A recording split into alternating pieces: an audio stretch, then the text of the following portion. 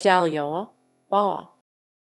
Daliowa Daljova is a village in the administrative district of Gmina Jaśliska, within Krosno County, Subcarpathian Voivodeship, in south-eastern Poland, close to the border with Slovakia.